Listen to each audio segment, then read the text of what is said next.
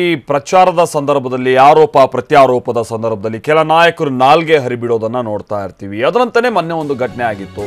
ಶಾಸಕ K M ಶಿವಲಿಂಗೇಗೌಡರು ವಿರುದ್ಧವಾಗಿ ಈಗ ಎಫ್ಐಆರ್ ಕೂಡ ದಾಖಲಾಗಿದೆ. ಅರ್ಜಿಕೆರೆಯ ಶಾಸಕರಾಗಿರುವಂತ ಕೆ ಎಂ ಶಿವಲಿಂಗೇಗೌಡರು, ಹಾಗಾದ್ರೆ ಏನ್ ಹೇಳಿದ್ರು?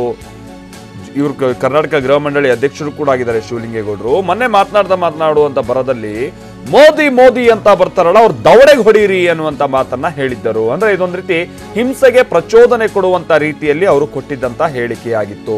ಮಾರ್ಚ್ ಇಪ್ಪತ್ತನೇ ತಾರೀಕು ಈ ಹೇಳಿಕೆಯನ್ನ ಶಾಸಕ ಶಿವಲಿಂಗೇಗೌಡ ಅವರು ಕೊಟ್ಟಿದ್ದರು.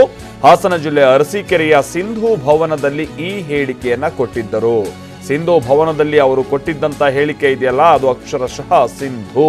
ಸೊ ಈ ಕಾರಣಕ್ಕಾಗಿನೇ ಅವರ ವಿರುದ್ಧವಾಗಿ ಈಗ ಕಂಪ್ಲೇಂಟ್ ಕೂಡ ದಾಖಲಾಗಿತ್ತು. ಹಾಸನ ಜಿಲ್ಲಾ ಬಿಜೆಪಿ ಘಟಕದ ವಕ್ತಾರ ಎನ್ ಡಿ ಪ್ರಸಾದ್ ದೂರನ್ನ ಕೊಟ್ಟಿದ್ದರು. ಸಹಾಯಕ ಚುನಾವಣಾ ಅಧಿಕಾರಿಗೆ ದೂರನ್ನ ನೀಡಿರ್ತಾರೆ ಪ್ರಸಾದ್.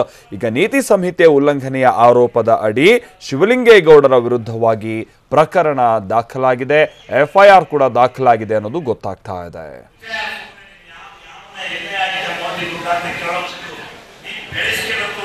ಎಣ್ಣೆ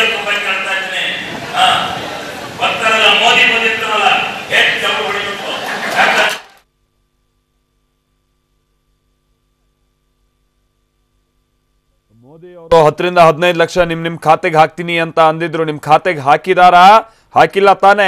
ಮೋದಿ ಅವರು ಬಂದಾಗ ಅವ್ರ ಬೆಂಬಲಿಗರು ಬರ್ತಾರಲ್ಲ. ಮೋದಿ ಮೋದಿ ಅಂತ ಕೂಗ್ತಾ ತೆಗೆದು ಎರಡು ಅವ್ರ ದವಡೆಗೆ ಹೊಡೀರಿ ಅಂತ ಶಿವಲಿಂಗೇಗೌಡರು ಹೇಳಿರ್ತಾರೆ. ಆಮೇಲೆ ಇನ್ನೊಂದು ವಿಚಾರ ಅಂತಂದ್ರೆ ಅದು ಇವರು ತಮ್ಮ ಕಾರ್ಯಕರ್ತರನ್ನ ಉದ್ದೇಶಿಸಿ ಮಾತನಾಡುವಂತ ಸಂದರ್ಭದಲ್ಲಿ ಹೇಳಿದ್ದಂಥ ಸ್ಟೇಟ್ಮೆಂಟ್ ಆಗಿದ್ದರೂ ಕೂಡ ಹಿಂಸೆಗೆ ಪ್ರಚೋದಿಸುವಂತ ರೀತಿಯ ಅಂತ ಹೇಳಿಕೆ ಆಗಿತ್ತು. ಇದು ಚುನಾವಣಾ ನೀತಿ ಸಮಿತಿಯ ಸ್ಪಷ್ಟ ಉಲ್ಲಂಘನೆಯೂ ಕೂಡ ಆಗುತ್ತೆ. ಈ ಕಾರಣಕ್ಕಾಗಿನೇ ಆ ಭಾಗದ ಬಿಜೆಪಿಗೆ ಸಂಬಂಧಪಟ್ಟಂತ ಸದಸ್ಯರು ಕಂಪ್ಲೇಂಟ್ ಅನ್ನ ದಾಖಲಿಸಿರ್ತಾರೆ. ಆ ಕಂಪ್ಲೇಂಟ್ ಅನ್ನ ಆಧರಿಸಿ ಈಗ ಎಫ್ ಐ ಆರ್ ದಾಖಲಾಗಿದೆ. ಮುಂದಿನ ದಿನಗಳಲ್ಲಿ ಶಿವಲಿಂಗೇಗೌಡರು ಈ ಪ್ರಕರಣಕ್ಕೆ ಸಂಬಂಧಪಟ್ಟಂತೆ ವಿಚಾರಣೆಗೆ ಹಾಜರಾಗಬೇಕಾದಂತ ಅನಿವಾರ್ಯತೆ ಎದುರಾಗುತ್ತೆ.